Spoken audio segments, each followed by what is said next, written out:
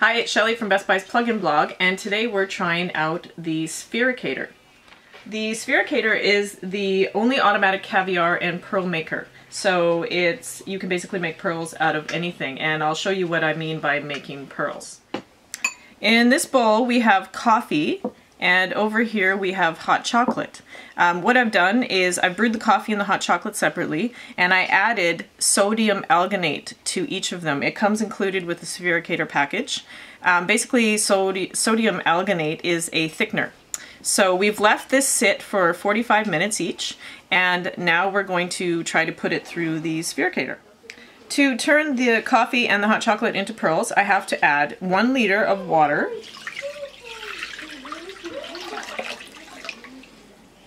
and three tablespoons of calcium chloride. So I add the calcium to the water and I'm just going to stir it to dissolve. You can see it's cloudy. I've got to add the coffee to the spherificator. You're only supposed to fill it up about halfway. Put the lid on.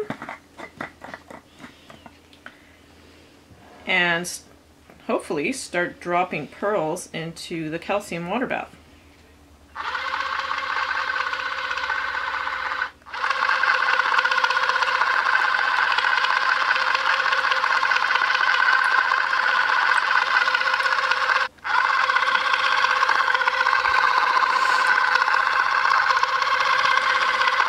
I'm just going to adjust the speed because some of them don't look like pearls.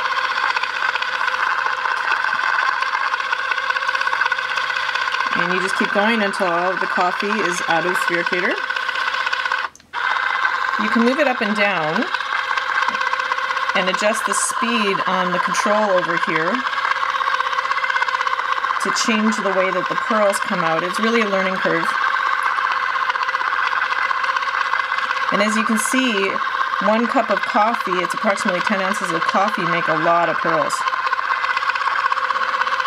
Okay, next we're going to take the pearls out with a strainer. I would recommend using a smaller strainer. This is the only one I have. Putting them in another bowl.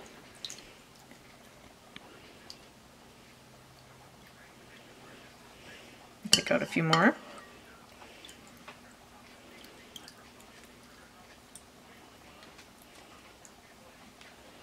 Next I have to rinse them under water. So I've rinsed my pearls and uh, what I actually recommend you do is you just let the strainer sit on top of your bowl of calcium just to get excess water off. And now I'm going to scoop my pearls. They've congealed a little bit, but you can actually pull them apart and see. And put it on top of ice cream because what goes better on ice cream than coffee? And we'll give it a try. We'll try to give it a try.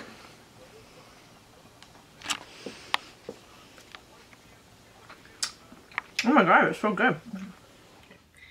Um, when you're done using the spherificator, it's really easy to clean. All you do is pop off the top, take the this part and rinse it out with water, and uh, you're supposed to actually plug it in near your sink, and I don't have a plug-in over there, otherwise I'd show you, but you're supposed to plug it in near your sink and turn it on and let the water run through, and then it's completely clean. Overall, I think the Spherificator is a really cool toy for the kitchen. Um, if you want to make anything into pearls, you can. Um, you can check out my full review of the Spherificator on Best Buy's plugin blog. Thanks for watching.